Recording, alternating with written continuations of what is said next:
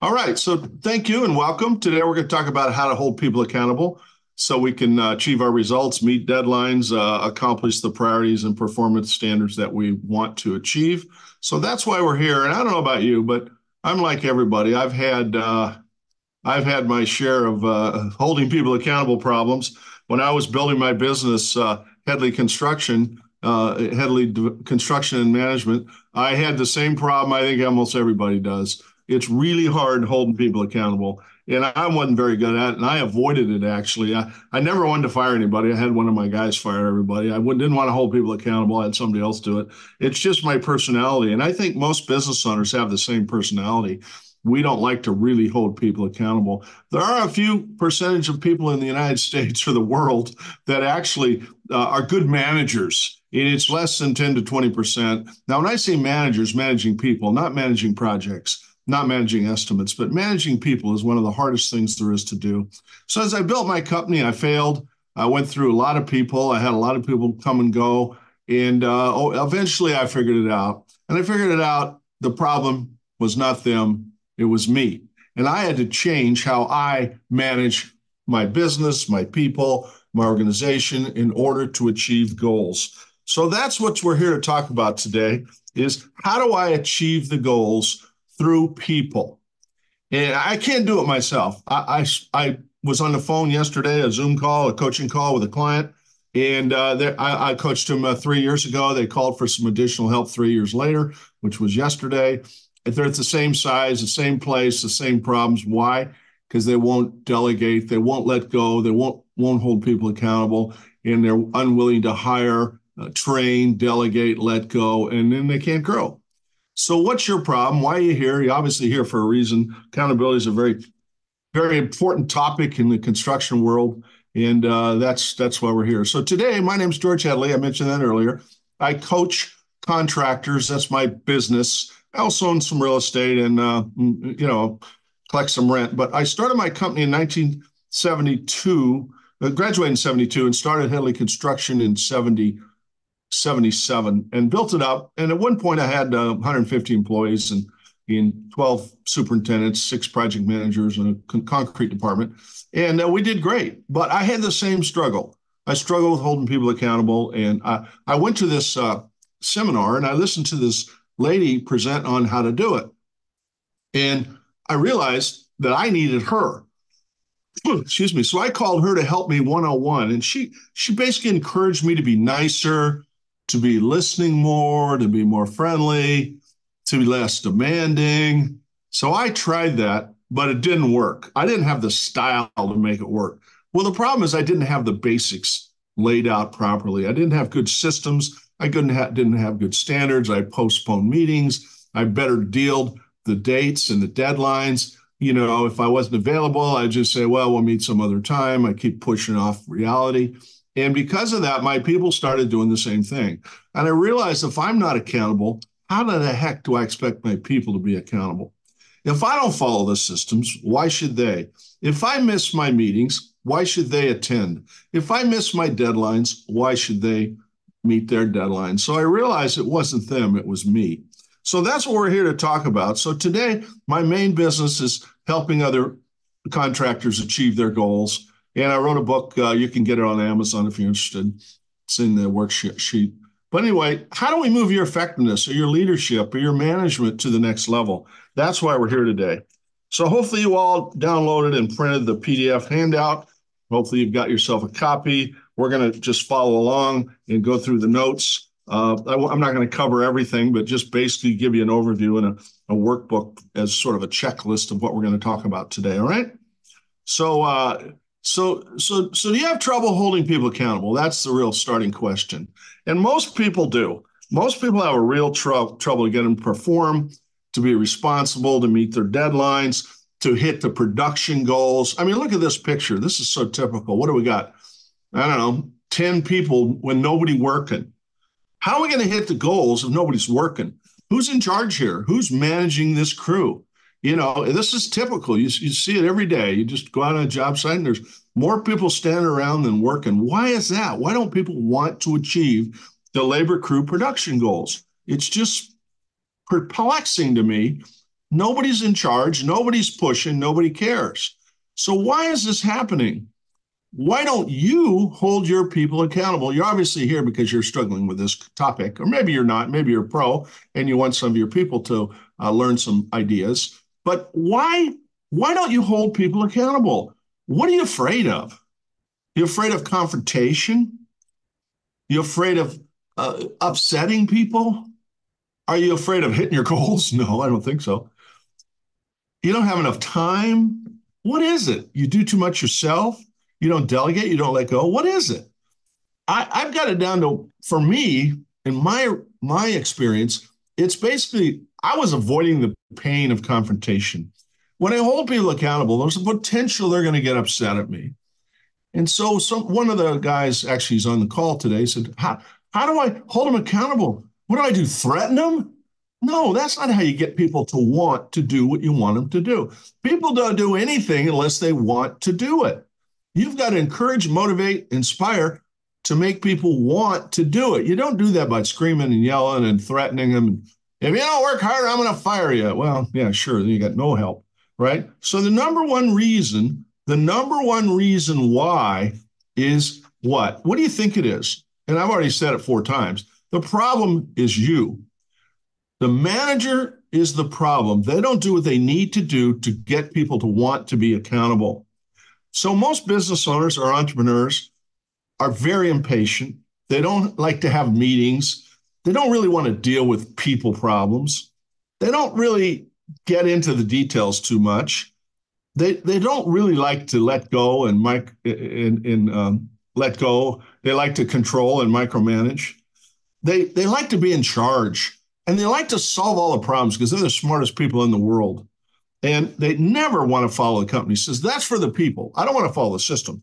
I don't have to do it. I'm the owner. I'm the boss. And uh, they hate regular scheduled meeting. Every Tuesday at nine, we got to have a meeting, except for me, because I got better deals I got to go take care of. I got a call, I got a problem, I got an issue. I got to put that first in front of all my people. So I'm not accountable even to myself. And so they avoid conflict they avoid confrontation and they avoid people holding them accountable. So, what's your reason why you're here today? What are you trying to figure out? So, what happens is just quick overview. Uh, the dilemma is, and, and you may have seen this before, I've shown this before. First of all, we get too busy. When we do too much ourselves, we don't delegate, we don't let go, we're too busy. When we're not busy, we can't focus on the majors. We focus on the minors. And I always say most contractors who have employees, workers, field workers, you're in the labor business. Nothing matters except getting your labor to finish on time. But we don't have time to deal with the labor. We just worry about other stuff like, you know, getting paid and and uh, bidding jobs and you know, it's all about the people. And I got to get them to perform. So that's the question. How do I get people to perform? Um, so just a minute here. Somebody raise their hand. I will stop in a minute and take some questions, or if you have a chat, hit me a button on the chat and I'll do that. Um, so uh, just hit the chat or the Q&A if you got a question. I'll cover it in a second. All right, so we get too busy. And when we get too busy, we don't focus. And then we don't have a plan. We can't implement our plan. We don't focus on what we should be focused on. Then we react all day. We put out fires. We become firefighters. We don't delegate. We don't sit down. We don't train. We don't coach. We don't hold people accountable. We don't have time. We just wander down the hall. We say, Hey, Joe, how's the job going? Oh, pretty good. You on schedule? Yeah, pretty much, which means you're not. Pretty much is no. But so we don't want to deal with it. We know there are probably problems, but we just keep walking on by in the office. And so because of that, we end up having to fight a lot of fires because we're too slow. We got issues. We didn't get change order signed for whatever reason. I'm, I'm working too hard, doing too much myself. So I don't have time to sit down, coach, mentor, train, encourage my people, hold them accountable. And therefore, I become very inefficient. Uh, we leak money, we make problems, we do stuff we shouldn't do, we do work without a signed change order, we don't get paid for things we should. Uh, labor comes in over budget because the crew wants to have overtime and we don't have it in the budget, and nobody man, nobody wants to deal with that, so we just let it happen. And pretty soon we're over budget 10% on labor, which is a huge number at the end of the year. And so what happens, we slowly start losing money down the drain. And when people hire me to come into their company, you know, why do they call me? Because they got issues. They're not making enough money or whatever it is. And so we the first thing I look at is where are you losing money down the drain? And is it your labor over budget? Is it your estimate not right, correct? Where are you losing the money? You missed items. So I, I've got to determine where you're losing money. Why are you losing money? It's not because you're a bad company. It something's not happening. Nobody's holding people accountable to create accurate estimates, to hold the labor production hours on budget every week. Nobody's holding project manager accountable to do a monthly job cost report. Nobody's taken time to meet with their direct reports on a weekly basis, one on one, to go through the list to make sure they're performing and, and accomplishing the tasks required to, to finish jobs on budget and on time. What, what are we doing here? We're, we're just losing money. We continue to let it happen because I'm so busy. And so, what do I need? Do I need good people? Well, I can't find any good help. Well, that's because you're not a good manager. Managers manage, they don't do the work, they manage. Project managers are doers, they do work. Manager of the project manager is the one who has to hold people accountable. So if your org chart does not have a vice president of construction, let's say, who's managing the project managers? Well, that's the owner or the president. The president has to take time in their week to sit down with all of their direct reports and manage them. Well, if there's nobody managing your people, nobody's keeping them accountable and no one's holding to make the budget. So, what do we got to do? So, the results are we continually lose the money down the drain. So, we've got to manage, which includes holding people accountable. So, I have to change my normal, natural personality from a good guy, visionary, uh, make everybody happy, entrepreneur, encouraging, inspirational leader into a manager as well, which I don't have that talent. So I have to learn how to become a manager. It starts with clear understanding of what's expected and a weekly one-on-one meeting with my direct reports. If you're not having regular meetings, how do you know they're on, tr- on time, on budget? If you're not digging into the details, how do you know if they got all their shop drawings approved or not? How do you know if they got all the changes approved if you've never gone out to the job site, Mr. Manager or Ms. Manager, right? So think about yourself, put yourself in this position and ask yourself, are you too busy to get it all done? Are you wearing too many hats? Uh, maybe you're doing too much yourself. What should you be delegating? Uh, are you the only one who seems to be accountable? You know, why is that? Because you're not letting them be accountable. You're you're taking back you're taking back their responsibility and making all decisions for them. Uh, they continue to call you all day with stupid decisions. Why is that? It's because they're afraid of you that you're going to overrule the decision and scream at yell at them. People call you because they're not confident and they haven't been empowered with the authority to make decisions. So, how do I hold people accountable if they can't make a decision? Uh, in, in do you have to make every decision? It feels like it. Well, that's because you want to make decisions.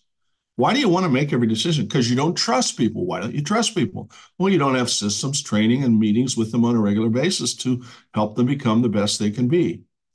Uh, you can't get your people to meet your goals and perform. Here's another crew. Here's a typical crew. You got a backhoe guy and everybody watching them. What do you got? One, two, three, four, seven guys one, two, I don't know, three, four, five, six, seven people watching one backhoe operator. Is that ridiculous or what? And so think about how do we get this organized? We need a plan. We need a layout plan and a dig team and a stall team, and we don't have them all standing around. That's not your budget.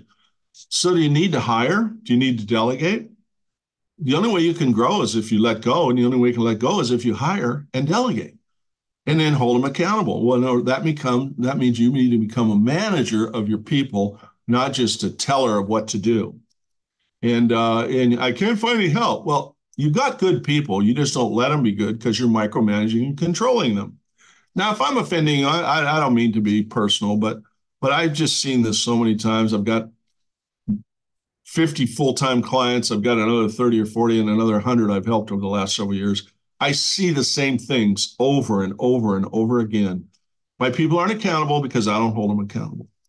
Uh, and, and so if you can't hold people accountable, what's next? What do we got to do? I got to learn the steps. And so, do, do you have clear written job descriptions?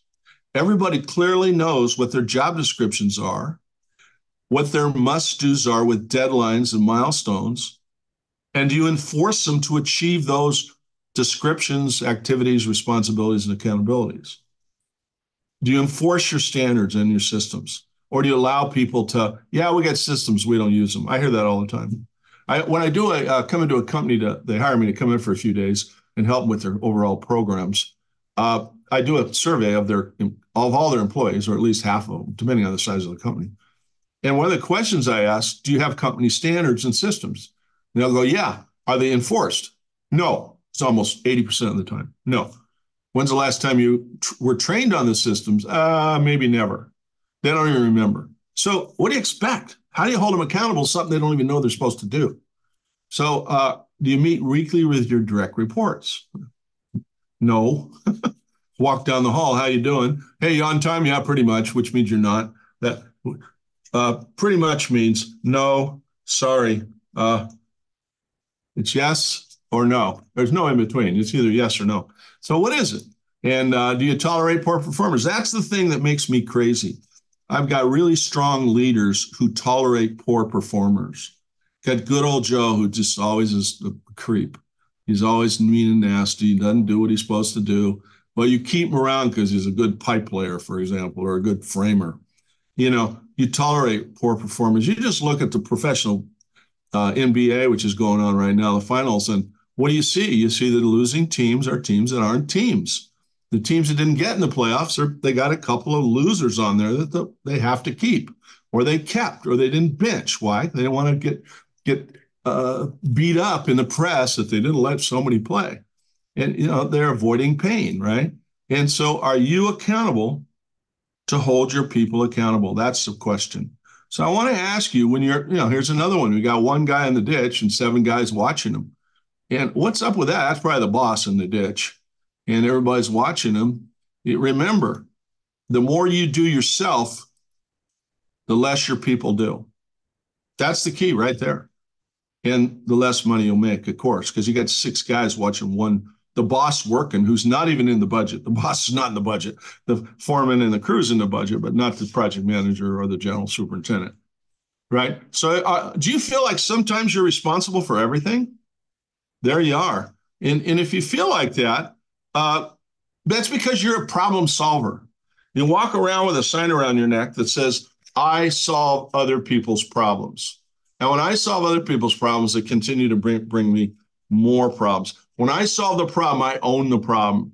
When they come to me for decisions, I own the problem and the solution because I tell them what to do. And if it doesn't work, the person's not accountable to achieve what has to happen because I told them what to do. And if it didn't work, it's my problem. So I can't keep solving everybody's problems. And so if I've got a sign that says I solve problems, people bring you more problems. And they bring you problems because you don't have meetings, you don't have training, you don't have coaching, you don't have mentoring, you don't have time, you're too busy. And so, so when I get this uh, uh, question asked me, uh, you know, the, the real thing is when I solve other people's problems, they bring me more problems. I already said that once. People responsible for nothing are responsible for nothing. So the key is do you continually solve other people's problems? And if you do, you got to stop. So I passed these out of my peer groups uh, a few months, few a year ago or so. These little signs that says "Stop solving other people's problems." So I want that to be facing the person on their desk. And on the other side, it says, What's your solution? So when somebody brings you a problem, you've got to say, It's not my problem. It's your job to solve the problem. What's your solution? What's your suggested solution? Don't just blurt out. You know exactly what they need to do based on your company and your experience, and you're the boss and you know the money and all that. But what do you think we ought to do? Reverse all your questions. Make people accountable for the solution and the performance. You can't keep solving their problems if you want to hold people ac- accountable. So the more you do for them, the less they do for you. So high control, low performance. Low control, high performance. That's the key here. What do I have to do? And, and, and when they say, how you doing? Well, okay, so I, here's what I need you to do. I think you can get this done. They go, well, I'll, I'll try pretty much. Hopefully, no, no. You're either going to do it or you're not.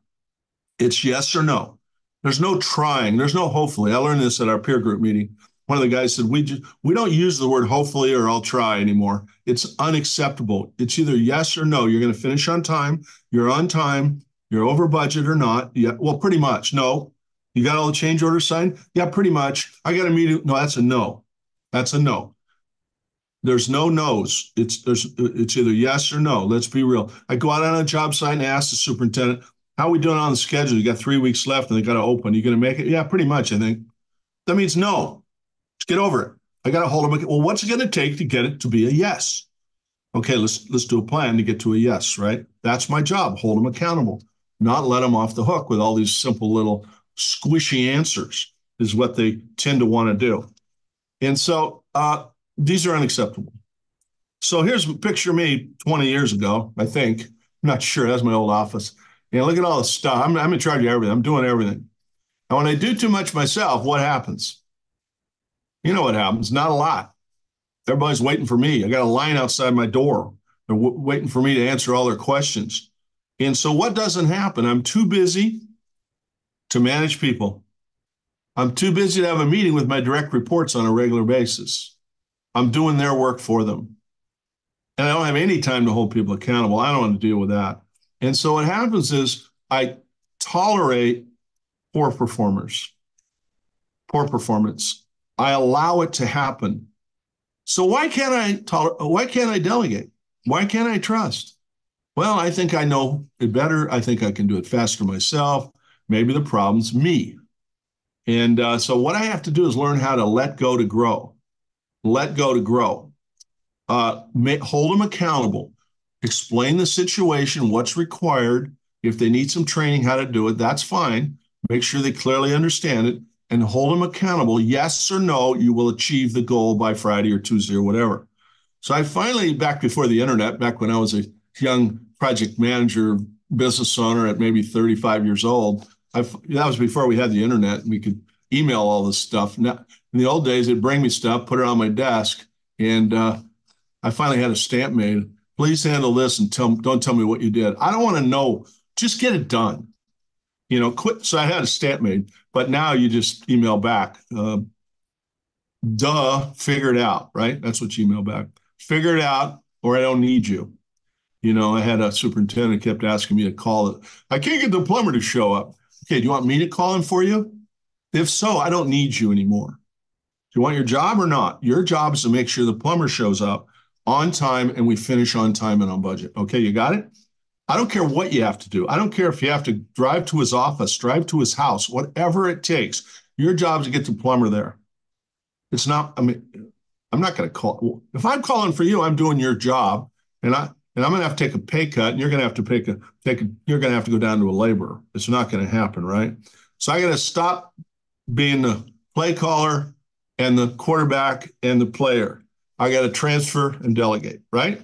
So what happens is we end up with all these monkeys on our on our back. Everybody keeps bringing you monkeys, and uh, you know, I go out on a job site, I find an old piece of paper, and I start taking notes. Uh, this guy needs this. George, can you do this? Can you? Oh yeah, okay, I'll do this. I'll do that. Can you help me with this? So I end up with a whole post-it note list of stuff that I'm supposed to do for my people. Those are monkeys that jumped onto my back. And so, how do I get the monkey off my back?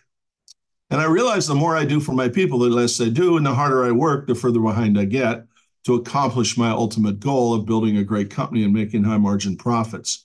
So I got to get that sign off my desk. I got to stop solving other people's problems.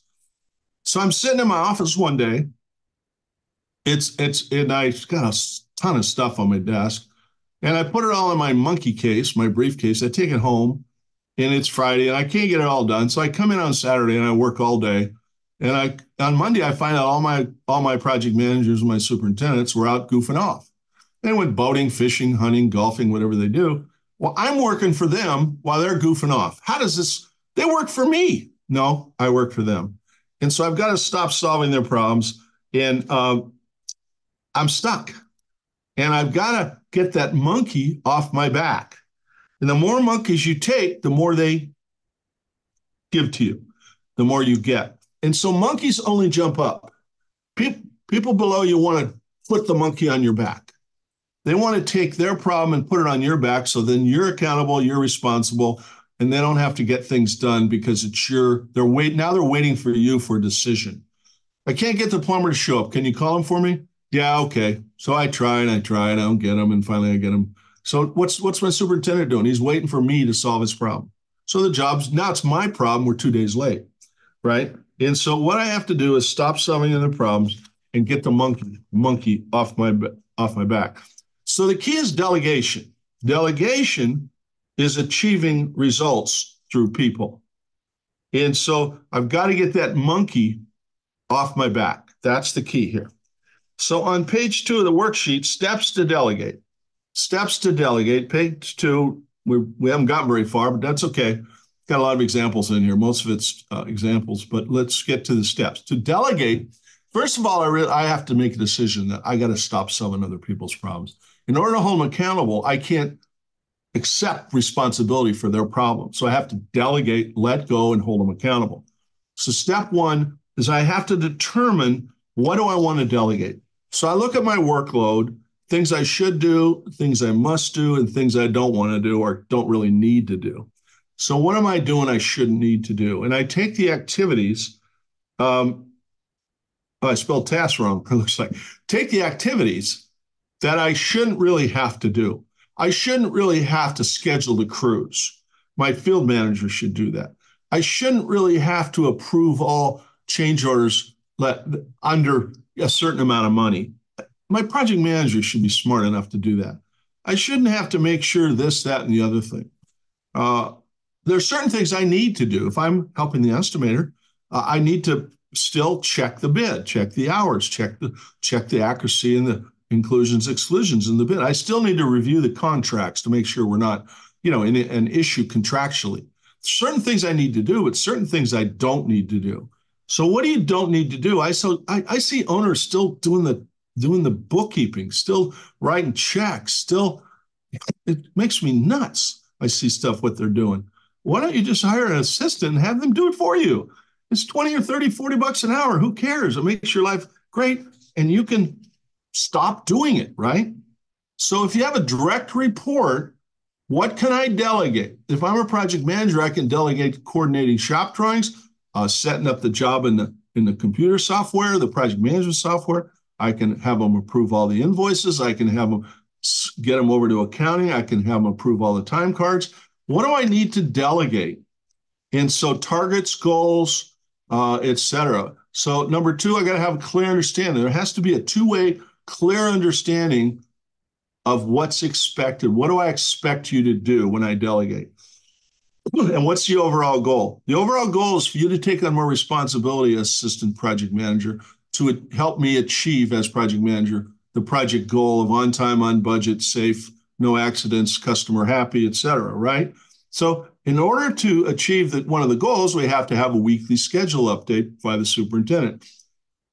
If I have an assistant, I don't have to call the superintendent. I can have my assistant call. Now, when I go out there every week as a senior project manager, I can review it with them, but I want to see it. I want to make sure it's coming in. So, what's the clear understanding what's expected? I expect look ahead schedules every Friday downloaded into the project management software by the field foreman or superintendent. No exceptions. On Monday, I want my project assistant to go through and make sure everybody did what they're supposed to do. And if not, she lets me know and we, we get them on the phone and we harass them until they do it. Or I go talk to the project manager, right? So what the heck's going on here? So targets, goals, results, responsibilities, deadlines, milestones. Milestones important, not just deadlines, milestones. If I got a bid due in three weeks, uh, what's the first week, second week? When do I want to meet them? And what do I want to go over every few days until the final day of the bid? we got to set our boundaries. How much money are you allowed to spend without checking with me first? What resources do you have? Can you grab more people? Can you work overtime? Um, and, but I empower you to make decisions within these within this grid, and then we document it. Here's what we have to do. Here's what you're accountable and responsible to do. And then I got to empower them to do it. And I can't keep taking the job back. I can say, what's your solution? What's your accomplishment? How you doing on that? And then I have to figure out who should be the right person to do what. So we take we take our list of activities required and we break it down into parts. For example, a project manager is accountable for uh, this uh, the uh, I don't know bringing it on budget, okay?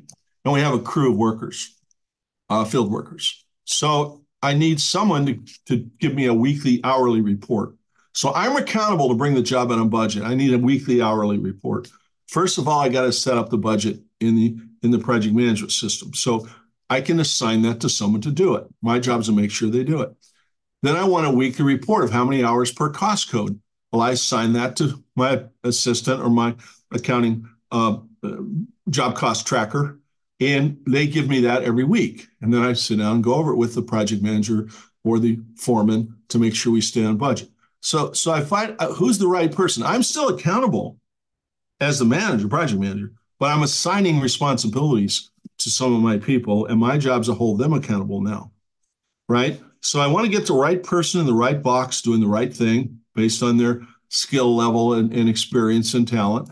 And number four, then I want to make sure they clearly understand, whoever I'm delegating to, clearly understand what's what's what's going on here. Who's accountable? They are accountable to get this done, not me. They are. And are they committed? Are they going to do what it requires to get it done? And they clearly understand how to do it, when it's due, how to accomplish the task. Okay, we're clear on that. Number five, we got to then my job as their manager, I call it the managing manager. I'm managing somebody who's doing something. I'm managing my direct report. My job is to monitor, stay informed, track their progress, see how they're doing, check their performance, and check their results on a regular basis. That's not at the end of the job. That's like weekly, daily, whatever it takes, depending on the complexity of it. You know, if I got a bid due in two weeks, my job as the as the estimating manager, not the estimator, but the person who manages the estimator, is to check in with them on a regular basis to make sure they're on track to meet the goal of an accurate estimate on two weeks from Thursday. All right. So that's my job. I can't just assume they're going to do it. I have to take responsibility to hold them accountable. And number six, uh, my job, as I just explained, is to hold them accountable. Now, when I meet with them midway on a, uh, let's say a bid, and I meet them the second week, how are you doing? And they go, man, I got a problem. Okay, I'm here to support you and help you. But if I don't wait till the end of the, the bid date, we're screwed. We can't you know, it's too late to find three more plumbing bids or or do do a takeoff on framing, for example, which is very complex. So what do I have to do? I have to hold them accountable and support them, right? And so I provide feedback, information, uh, make sure we have a regular check-in time. And my job is to train, encourage, motivate, and inspire, right? As a leader. Okay, and let me see. I got one question here. What does enforcement anonymous attendee. Enforcement is not screaming and yelling at them. We'll cover that in a minute. The enforcement is just continue to meet with them and clearly make sure they clearly understand the deadlines and accountabilities. And your job is also to monitor their workload. If they're overloaded, it's your problem, not theirs. Uh, and if you like no, number five, if you just stay in touch with them, your job is to stay in touch with them. You can't just assume they're going to do it. And three weeks later, you go meet with them. It's too late stand, the boss has to stand direct uh, uh, with their direct reports. You got to stay in touch. Got to know where they are. And you got to sit down with them and say, what's it going to take? It looks like you're falling behind. My my crew has a thousand hours and we're half done and they've spent, you know, six or seven hundred hours, it's too late. I should have watched them from day one every week. I need to know where they are. I can't scream and yell at them if I don't help them figure it out first of all, they might not even have got a report. They might not know where they are. My job is to keep them informed. And I can't, you know, the, the question was exactly enforcement. You don't need to enforce, you just stay in touch and encourage them and help them. You know, now if somebody's a flake, you get rid of them. But if they have a positive attitude and they meet your core values, you work with them and encourage them and motivate them. You don't you don't just scream and yell. If you don't do this, you're out of here. No, how who wants to work for a, a jerk boss? Nobody, right? So you know, I I got that the other day from one of my clients. It's like, well, what kind of what kind of a what kind of conformance or what kind of enforcement tools can I use? Be a manager. I get tired of that. Well, if I'll threat, I'll threaten you with pay cut. I'll fire you. Okay, fire them. Then what? Now you got nobody. So uh, there are certain people that need to get fired. It's most usually about values, not performance. Performance is because the manager didn't check in with them. Okay, let's keep going here. Thanks for the, thanks for that. So we've got a decision tree ladder, delegation ladder. Just a quickie on this. So you have to determine what level you want to be involved with. So first of all, there's the basic level, basic decision. It's routine. Hey, I, I need a new hammer. Well, just stink and go get one. You know, just do it. Nike, right? So no, don't don't waste my time. Where do I find a hammer? You know, I used to get phone calls from sitting in my office at six or seven a.m. in the morning. I get phone calls. Hey, this is a drywall delivery truck. Uh, where do I supposed to take this stuff? First of all, I don't know and I don't care. Uh, oh no, no, no. I can't say that. Okay, I got to be somewhat nice. I go. Well, what does it say on your ticket? Where do you think you ought to be going? Who's your customer? We don't buy drywall. The drywall. Oh, it's Acme Drywall. Why don't you call them? Because, well, I can't find it. Well, then wait for them. And when they finally answer the phone, it's not my problem. Your truck's going to sit in a parking lot for two hours. I don't care. You have a contract with Acme Drywall. And just, you know, or you, I'll give you another uh, choice. See the drugstore across the street? Go there and buy a map. Okay, thank you. Goodbye. But anyway, I'm a little nasty on this. It's one of my pet peeves is people asking me really stupid questions. You know, they call you up and go, "What? Hey, we ran out of uh, masking tape or whatever tape. What do you think I ought to do? Duh. That's my answer. Figure it out. And don't waste time. Get her done, right? Don't waste my time and your time asking me stupid questions. So you are 100% accountable in your job description to get things done, including order in advance, three week, three week look ahead schedule. Uh, every day, I want to know what you need over the next three days. I want it on the job three days before we need it. You know, I want you to get things done. So I got to have a clear understanding what's expected for my foreman or superintendent, for example. And uh, and I don't even know I don't know what you did. Just do it. You know. Um, okay, so that's simple. We pretty much understand that, right? Uh, where do I get gas? Oh, give me a break. Drive around Google it. I don't know. Minor decision. So that that's something that really doesn't need input, but they feel that they have to ask you.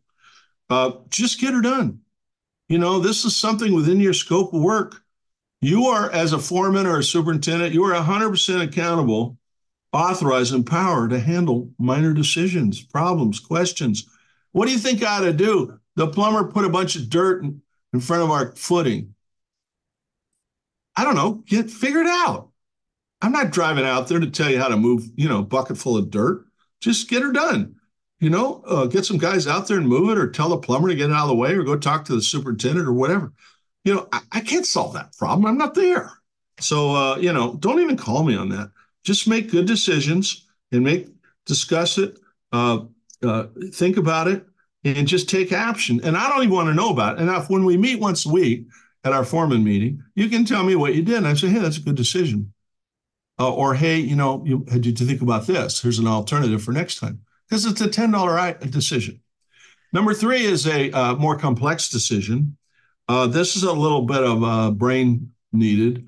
Uh, you know, what should we do about this? Or the guy wants me to do this and we're not really ready. Should what should I do? A change order? Should I ask for an extension or delay? Or what should I do here? You know, you're still authorized to make decisions as a superintendent or a foreman you know, the, the, the wholesale house delivered the, long, the wrong size pipe. Well, what should I do?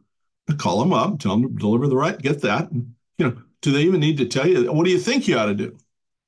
Uh, I think they ought to come and get it and bring me the. Okay, don't you make that happen? So on a minor decision or a complex decision, uh, it's a little more difficult.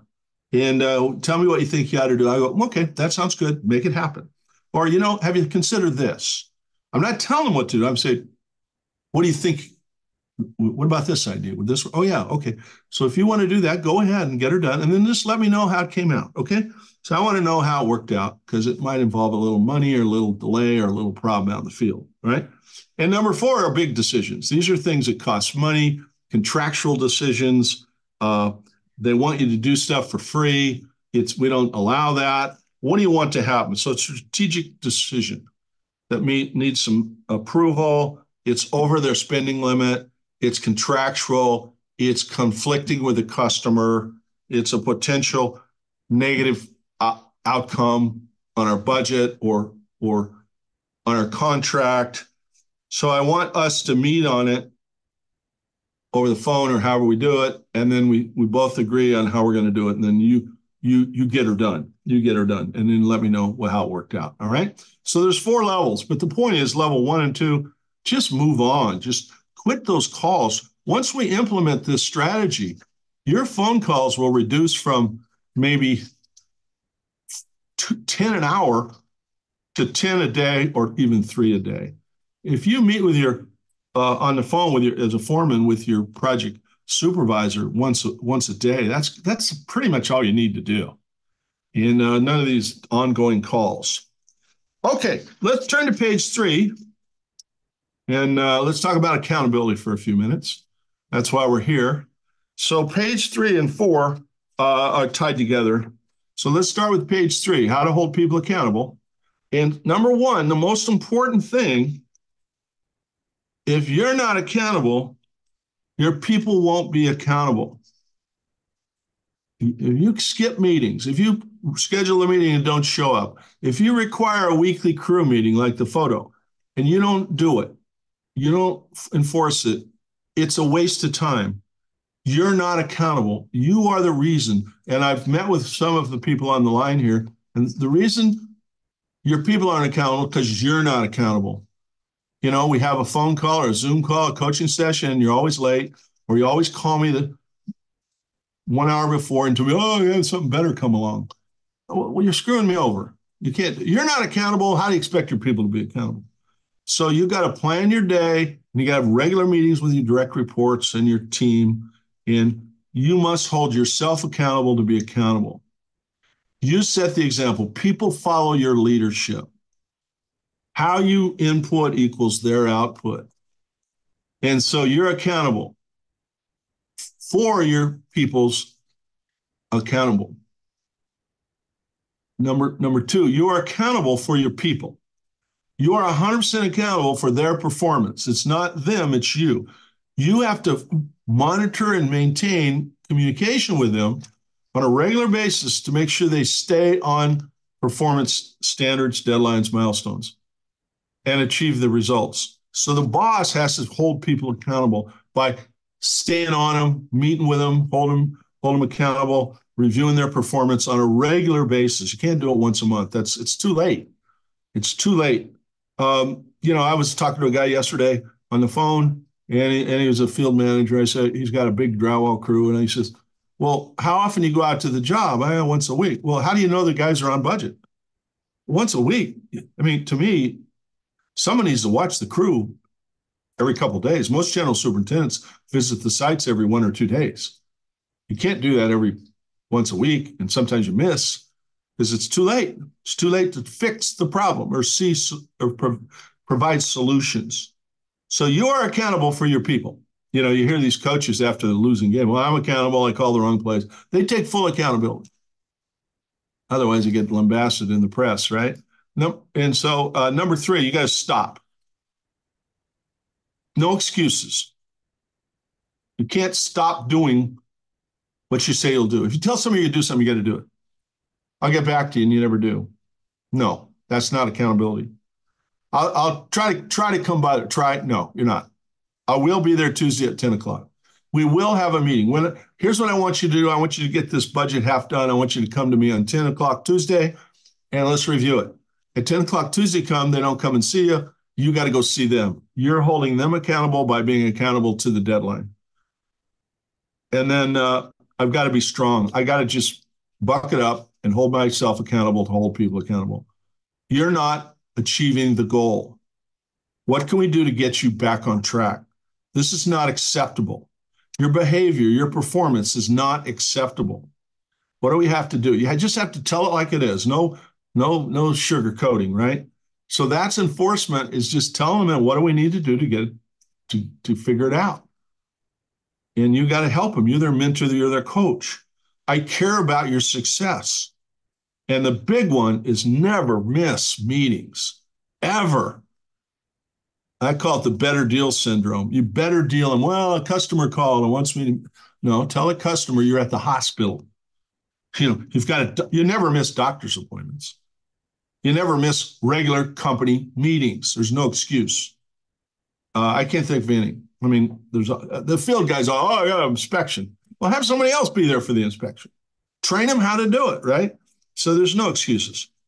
Uh, uh, clear expectations at the bottom of the page here. Oh, start, start, start. Uh, start doing what you say, making sure people clearly understand their performance requirements. Um, have the strength to hold them accountable, never miss meetings. Okay. All right. And up on stop, stop making excuses. Stop, stop threatening. No, no, no, no, no, none of that. No more of that. No disrespect. In number C, clear expectations. Bottom of page three. Uh, they must, first of all, they must be clearly, uh, sorry, they must be clearly understood. Got to make sure they clearly understand what's expected. We need to write it down and document it. You can't just tell somebody because they might remember it, they might not. So let's let's make a list of things we want to make sure. The schedule completion date is June 1st. The labor hours required for this job is 2,000 hours. The footings is 500, the slab is 300, et cetera, et cetera. Real clear. It must be completed by, we must have it formed by we must have it poured by. We must have it stripped by. So it's real clear. Want to make sure they clearly understand what they need to do. And don't forget, you need to have these things on pour day. You need to have a vibrator. You need to have a, a screed. You need to have a, a whirly bird. You need to have all this stuff. Let's make sure we have that. And then my job is to show them I care by helping them think through the process, coaching, mentoring, encouraging. And I want to want to have those regular meetings, right? And so clear expectations. Uh, and then, and the real real point is accountability is uh, under C. I, I need to explain why. Why is this so important? Well, if we don't do this properly, you know, you understand why? Why? Well, ask them. Well, if we don't get it right, these guys are real sticklers on cracks in concrete. We got to make sure there's no cracks. We got to make sure this, that, and the other thing. We saw cut it, we, we we cure it, et cetera, et cetera in, in uh, oil forms, et cetera. We got to do what we got to do to make sure it uh, we we meet the goal. Otherwise, they're going to make it flip it out. And uh, we're, we're this is a really tight bid. We got to make sure we at least achieve our goals. And uh, consequences, you know, um, you're definitely not going to get a bonus. You know, I don't know if it's grounds for termination, but you know that might be a bit harsh. But you know, let's get her done. And, and the best thing you can do is put in incentives for your crews, for example, in your teams, if we hit the goals, we get an incentive, right? So we define what's expected, targets, goals, timeline, milestone, objectives, performance standards. Um, you know, be safe. Well, what does that mean? How do I define it? No documented incidents and no lost time accidents. Clear. No violations and uh, clear performance plans. So what do we need to do? Okay, so let's turn to page four and talk about commitment. Commitment is two way. I commit to help you, and you commit to get her done. So it's two way. We got to make sure we clearly agree. Are you you you agree and you hereby commit that you're going to get this done by Friday, right? And when you get it done, you're going to bring me the completed product, and we're going to meet Monday morning at 10 a.m. You got that? Okay, let's write that down. Let's agree to it. I'm putting it in my calendar. Put it in your calendar. I got to be a little bit of a kind of a pushy guy on this make sure it happens. And uh, if it's an estimate, okay, so we got, got I want to review the plans with you tomorrow morning, or doing a quick overview. And I want to see your sub list that you select in material suppliers. And then on the, on Thursday, let's review your takeoff. Then on Tuesday, let's look at your crew rates. And then on Friday, let's meet in the morning so we can turn it in by noon, right? Okay, so it's clear. That's our deadlines. And we put it right on the calendar. We do it on a chalkboard Whatever you do, I put it into my calendar and we make sure we do it. And if they don't come to you at those times. You go to them. You got to hold them accountable to be accountable. All right. So uh, commitments two way. We got we got buy-in, we got ownership, uh, and uh, you own this, not me. You own it. My job is to oversee and make sure it happens. And then manager's job. I'm not here to solve your problem. I'm here to coach you and consult you. Uh, in any financial decisions, let me know over a certain amount. And we're going to meet when we're going to meet. And when you don't meet, I'm going to go to you immediately and sit down with you and see where you are and see when you can accomplish the task. And there's no excuses. There's no better deal meet. There's no priorities uh, unless you come to me and say, "Hey, boss, I got a fire drill. Can I do that?" And we'll we'll meet in a couple hours. And make sure they have the resources, the tools, etc. So number P, uh, track, track. I'm sorry, track.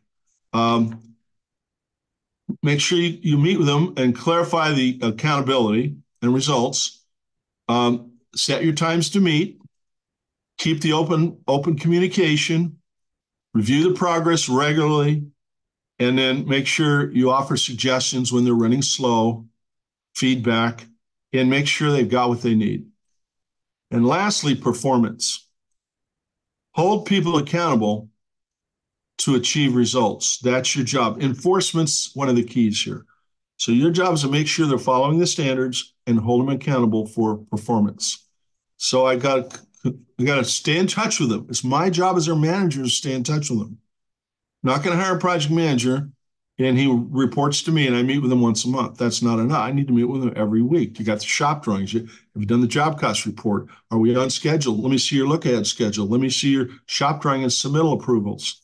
You got all the subcontracts let. Which ones aren't? Why not? Um, and then, uh, so my job is stay in touch and determine if they're running slow, why? Why are you slow? Let's talk about it. What can we do to solve? Do you need an assistant? Are you delegating? You, are you overloaded? Do I need to take back some of the workload?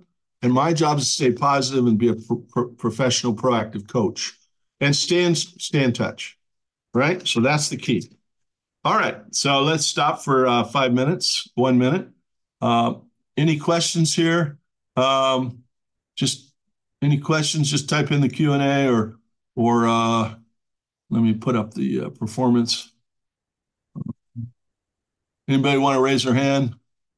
And I'll talk or I'll I'll do it. Well, we're going to be another 10 minutes. So they want to talk, ask questions? Nope, doesn't look like it. So okay, we'll keep going. All right. Okay, so uh, let's talk about your org chart on page five. Um, uh, page five of the handout. Let's talk about laying out your org chart properly and providing clear understanding.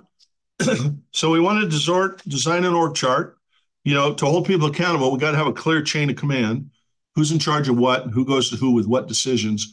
We don't want people asking six people until they get the answer they want.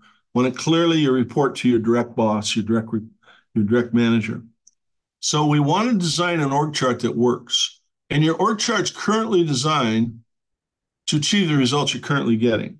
So if you have people that aren't accountable, it's because your org chart's designed either with the wrong uh, leadership, management, or unclear job descriptions and who they need to talk to. So when you're too busy, you're overloaded. You know, that's one of the things when I meet with people, I go through their org chart and we say, man, you're overloaded. You got too many people report to you. You're, you're doing too much. What can we do to get that, give you more time to be a better manager? So I've got to get the, you know, just like football, the only way you can win is you have the right players in the right positions with the right talent, the right attitude, uh, and the right experience for so you can for today and the future. So the key to your org chart, it's got to be set up for the future. We hire for the future, not for today, for current, plus allow the business to grow and move to the next level. Sorry. Oops. And so most org charts, when they start out, most companies, here's their org chart. Um, and it looks like this. You got all these boxes, and there's you as the boss. And, you know, so who's in charge of sales? Who's in charge of estimating? Who's in charge of project management? Who's in charge of the field? Who's in charge of the crews? Who's in charge of the money? You are. When you're 100% chance in charge of everything, you can't. You're stuck. You're, you can't do what you want to do to make it happen, right? And so you, you're uh, stuck at the level of what you can do. So we got to start delegating and let go and build an org chart with clear job descriptions so I can hold people accountable to achieve results, right? So there we go. It's like trying to teach a dog. You don't scream and yell at a dog, hey, you're supposed to bite that cat or you're supposed to do this. No, you, you don't keep yelling, sit, sit. No, you, you walk up to a dog, you pet them and you hug them and you give them a snack or whatever you do, and you say, hey, good job. That's how you get people to do what you want them to do. You don't scream and yell at them and threaten them. And so when you ask the question, what do people want? What do people want, need, expect to perform? What do you think the most important things are? Is it pay? Is it a good fringes? Is it freedom? Is it time off? Contribute? No, it's simple. Number one, on uh, right in the middle, page five, clear understanding what's expected. That's the most important trait required to get people to want to perform. They got to want to know, they must know what you want them to do and how to do it and how to perform it and the results expected. And if, you know, I tell a crew, go out there and work really hard, we'll try to finish on time. They don't know what the goal is. If I give them a goal of so many crew hours per day or per week or per lineal foot or, or for the whole job, they know what they have to do. Then they can see the finish line and they can stay in touch with achieving the goal. You know, it's like football, the last quarter, 16 touchdowns, in the first three, there's only one because there's a deadline, there's an ending. They know what they have to do. The second most important thing is recognition and praise. People want to know that you're there for them and they want to be recognized, thanked, praised. I appreciate you, all those kinds of things. They want to know that you care about them and their future. Number three, they want to understand, they want to know where we're going, the big picture, where we're going, how I fit in, why it's so important. So we got to always explain that. So part of my coaching and uh, suggestions and holding people accountable, first of all, they got to know what's expected. They, you got to meet with them, mentor them, coach them, give them regular recognition. Make sure they understand the why. And number four, they got to know you care about them as a person. And your job is to help them achieve their personal goals and the company goals. So you've got to lead, coach, trust, delegate, and let go of control to make that happen. So, so what we have to do is provide clear expectations. Can you imagine a, a company without clear goals and expectations? Can you imagine working on a crew where it's just like work as hard as you can, we hope it all works out, and we don't have meetings to go over the budget and the goals? Can you imagine a football team where there's no scoreboard, you know, without a playbook, without position descriptions for each person? Uh, how about a basketball team where there's no plays? Could you imagine? So everybody on the team there's Nick Saban. Everybody on the team has to know exactly what's expected of them. And so we have the Monday morning quarterback. We show all the plays, who missed the play. You know, what are we going to do about it? What do we got to do to fix that? It's real clear what's expected. Um, I asked my foreman the other day, I said, How's it going? He says, How many people are working today? He says, About half. So, so what we have to do, we have to, I, I came up with an acronym called GEAR, provide clear gear. First of all, we have to have clear guidelines, written, detailed job descriptions, guidelines uh, of, of what of, of, a visual picture, a how-to, a checklist, how to accomplish results. Then we have to make it clearly ex- what's expected, the minimum expected results. What results are we trying to accomplish? Safety, quality, schedule, production, etc. What what's expected? and uh, then we can then we can hold them accountable and responsible. You can't hold somebody accountable unless they know how to do it and they know what the results expected are. How do you hold somebody accountable? What's an accurate estimate? It, you know, you're accountable. Make a an accurate estimate to get good sub bid coverage. Well, what's expected? Well, within two percent of labor and three uh, bids per trade. Oh, okay, that's clear. I got it. All right, got it. Work really hard. Harder than what? I'm already working hard. I'm sweating. What do you expect? It's hot out here today. You know, so I've got to be clear. We got so many man hours. We got to make it done. Then I can hold you accountable to achieve the goal, and I can make it clear what the responsibilities, the tasks, and activities are that you must do to achieve the goal. I don't just want a look ahead schedule because I like schedules. I know that it improves performance. and it'll help us achieve the expected goals. So, football, you need clear understanding what's expected. Const- construction, detailed position job descriptions, measurable results. Got to have them clear. Uh, who's responsible to do what? Tax, tasks, activities, and deadlines. Clear chain of command. Clear chain of command. Level of authority. And what's my role as the manager, the hold accountable person? My role is to coach them, mentor them, monitor them, and enforce them. It's not to watch. It's to be proactively involved in their in their job. Uh, hold them accountable, trust them, delegate, let go, coach, mentor, train. Right. So, so if we think about what our role is, let's look at our job: uh, manage, coach, mentor, monitor, review, and train. So let's look at a typical org chart. Uh, so here's my draft org chart on page six. Here's a just a sample, and I usually uh, help the client, my clients. We draft their org chart for them. We work with them to come up with a org chart for today, so it's clear. And each box will have responsibilities and a job description and a line of command, a level of authority. So here's here's my standard kind of draft.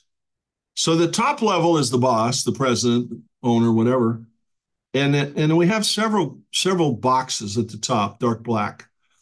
One of them we want to build our wealth, so we need something to think about wealth and investments. But then we get to we get to uh, build wealth. So we we always want to we don't want to forget that box. Somebody's got to be building for the future, investments. Uh, so we don't 30 years from now you still don't have any money. We need to. That's why we're in business to build a future. But but how do we do it? We got to win work Who's in charge of winning work in your company?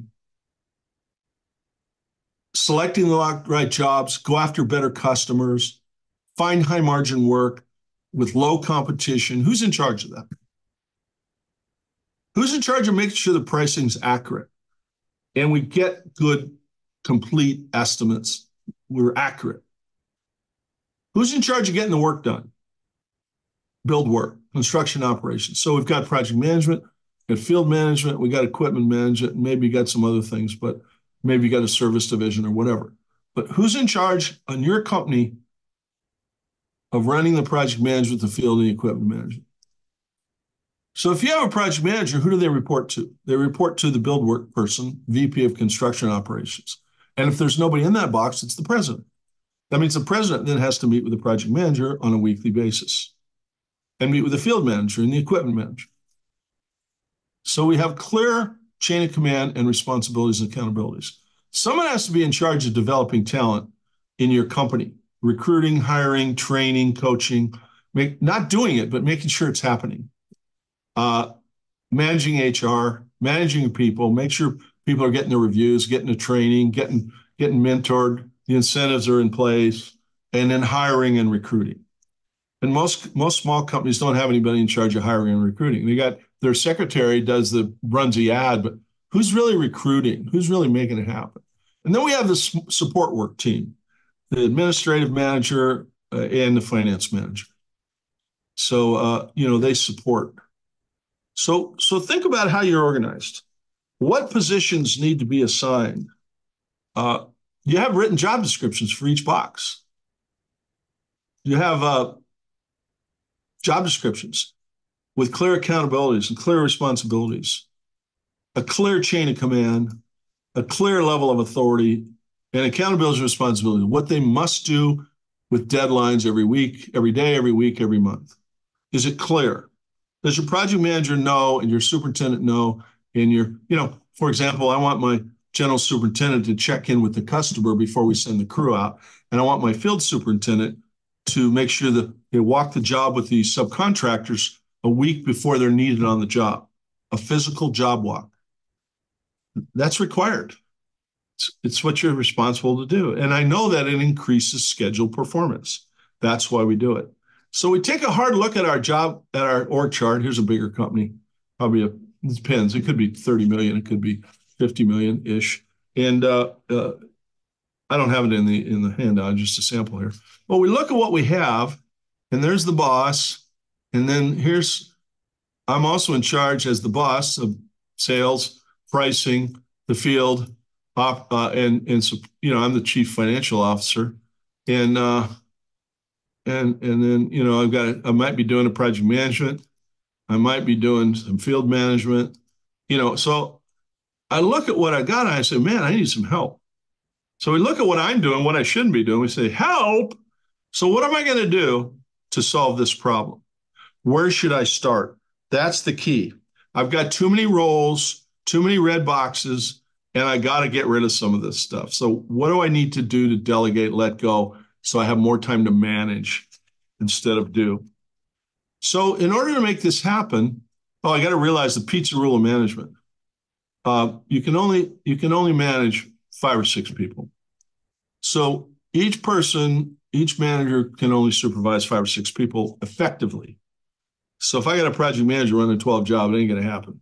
If I got a general superintendent with 12 foremen, it ain't going to happen. Uh, we need to break it down.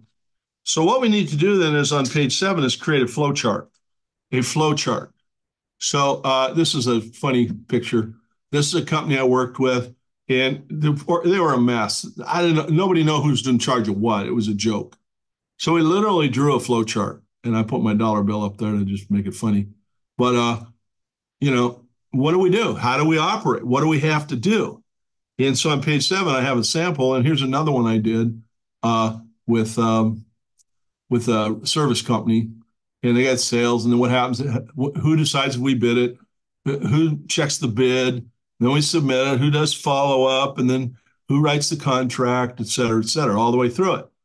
So we need a flow chart. So it's real clear what the flow is. And so uh, I, I, created the one on page seven. We got several versions, but it's just a quick sample just to show you what it might look like. Sales goes to a, uh, uh, we have a weekly sales meeting, then it goes to estimating, and then it goes to pre-construction or turnover meeting, and then then we have a project manager on the right who has an assistant coordinator, and then we have foreman and superintendent.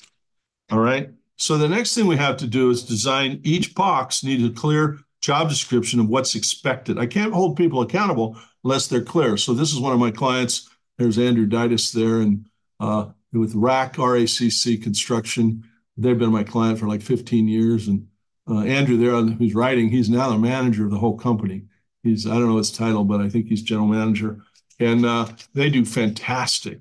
And it started by getting people involved here. So here we are creating job descriptions and checklists and systems and uh, here's another company, Fed Construction Design Builders out of Gladwin, Michigan. I came over there and we they had pretty good job descriptions, but they want to improve them. So I got everybody together in a room, and uh, you can see on the top right we've got the estimators and accounting and et cetera. And then over on the left we've got controller, we got project manager, superintendent, um, foreman, et cetera. And in the back right we're we've got the HR and the safety director. So we're creating must do's, clear written job descriptions with deadlines. And so, so we create these positions, and on page eight are, are some simple examples. They're not perfect, they're not complete, they may not match your company, but they're standard. It's, it's how I create them. So I always have what results are you accountable for? Project manager is 100% accountable for the oversight, over, overall project success, goals, performance, results. In order to make that happen, we have tasks that you're responsible. We got to establish the budget, we got to customer approval, we got to do the job cost report, the scorecard, subcontracts, et cetera, et cetera, by a certain date or deadline. So on the left is results, on the right is activities to encourage and increase the odds of performance of the results on the left. So I've got project manager. These are just simple drafts.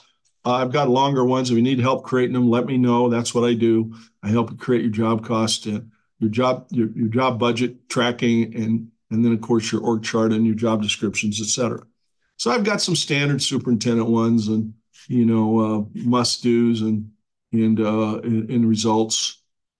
You know, I was with somebody yesterday talking about their foreman, and the foreman doesn't order their material. They got to call the office. Well, that's ridiculous project managers should make the purchase order with the wholesale house or the supplier. The foreman ought to be accountable to to get it delivered on time, what they need, and make sure it's the right amount. and report it back to the office, not keep calling the office.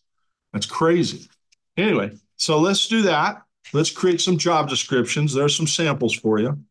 And lastly, but not least, we need a level of authority for each position. I don't have a picture of that in your workbook, but uh, you know, what's your authority? What's your we talked about your chain of command, but what what authority? So each person has a level of authority. So uh, project manager, you know, uh, uh, uh, uh subcontract five grand. You know, material purchases five grand. Small job materials on you know ten grand. Who cares? Change orders five grand. And so we we give a limit to each box. A superintendent has no authority to to uh, for change orders. They have to go through the office, go through the project. Overtime, who can who can decide overtime? Well, the foreman can if it's within budget, or they have to call the office uh, and get approval by noon on the day before. Who who can buy equipment? Who can rent equipment, etc. Who can give a raise? You know everything. So I created a little chart here. If you're if you want it, just send me an email. All right. So so MBWA years ago, our uh, what's the name Peters. He was a business uh, consultant. He did a lot of speaking and uh, he had a lot of uh, fun workshops and seminars, and he wrote a bunch of books. And um, so, anyway, he used to say, I want everybody to be involved with their people. I want them to go around and meet with their people. Management by wandering around. So, what happens is, you know, myself, for example, I used to wander around the office. Did you ever meet with your guys? Oh, yeah, yeah. I walk around the office all the time and talk to the guys. Well, how you doing? Well, pretty good. Uh, uh, pr- pretty much. Are you on schedule? Yeah, pretty much. Um, did you get all the shop drawings approved? Yeah, pretty, I'm in good shape. I mean, they're just lying to you. Did you do it or you didn't? Do it or don't. And they're they're just they just want you to get out of their office. They don't want you to hold them accountable. They're trying to avoid confrontation and avoid pain, and you don't want to deal with it either. So you just okay, great, keep it going, Joe. And uh, you know, find out three months later or three weeks later that they're 200 grand over budget and four weeks late, and you're in, in the toilet right? So MBA doesn't work unless you face to face and show me. So most of you have a good project management software. You just put it up on the screen. Show me your shop, shop drawings. Show me your uh, schedules. Show me your daily report. Show me your fill in the blank, right? Let's make sure they're doing their job. That's what a manager does, enforces and monitors and reviews the performance of their people. So that's how you hold people accountable. Uh, and so as a managing manager, on page nine, I've got a big, big old page there. I'm not going to walk you through it here. We're almost out of time. Uh, you know, a managing manager is someone who manages somebody.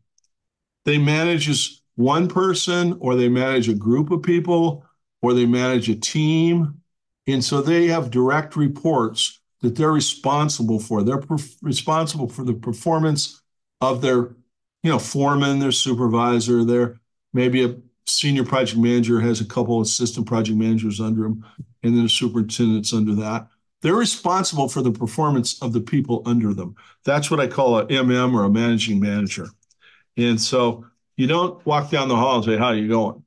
And so here's your org chart, and uh, it's a manager who manages a direct report, uh, group of people, group of managers, team, supervisor, who's accountable. The manager's managing manager is accountable and responsible for their performance.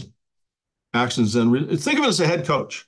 You've got an offensive coordinator, special teams, defense, and you're responsible for their performance. Now they they do the work. You just oversee it, and you meet with them on a regular basis. You don't just let them call the plays without talking to you uh, before the game. You know you have a game plan.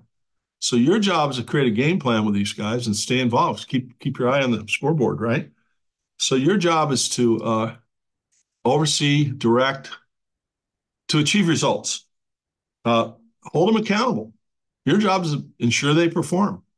How do you do that? You stay in touch with them, and you you help them, and you encourage them, and you meet with them on a regular basis, and you you help you enforce your strategy, your systems, make sure they're doing them, making sure we're following the company standards. And number four, we, we want to make sure we monitor the workload. We don't have people overloaded. You know, we got the right logistics, the right people, and uh, then number five, very important. My job as a manager is to promote teamwork, be a winning coach, mentor, coach, man to, to the managers. And so, so in order to make that happen, I have to make it a top priority to manage effectively. If I don't make that a priority, one of my daily, weekly priorities, I can't, I'm never going to hold anybody accountable. So if you're over a bunch of people, you got to meet with them every day, every week. Well, not every day, but every week. And so I used to have a full time assistant, always had one for years. Best thing I ever did. Well, not the best, but one of the top. And uh, uh, it, every morning, nine o'clock, you know, I get my morning stuff done and whatever. First thing when I had got through my stuff, I'd meet with my assistant and we go through the list. My job is to go through the list. So I have a list of everything I ask them to do.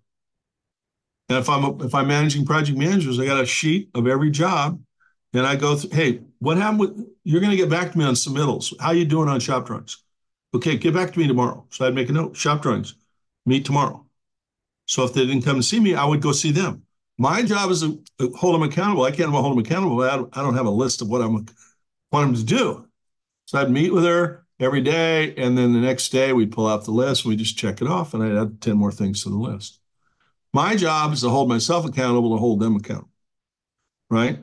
And so I've got to dedicate time to meet weekly with my direct reports, sometimes daily, depends. What else? Monitor and review their performance. How you doing on? I've got my list. You got your list. Let's go through it. Make sure we're on the same page. Measure it. Results. Number three, or next spot button. I got to hold them accountable. How come you didn't do that? What's what's the problem? What happened? Why didn't you get it done? What can we do to get back on track? My job is to encourage them, motivate them, and and push them to get back on track, not threaten them. If you threaten them, they're done. They're looking for another job. You got to encourage them. You got to make them want to perform. That's the key. If they don't want to show up on time, it's it's because you're not holding accountable and they don't want to because there's no there's no reason they have to. They don't understand. So you have to decide eventually, are they a keeper or not?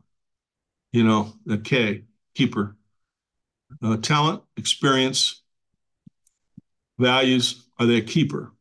That's what you have to decide. And uh, mentor, coach, motivate, encourage.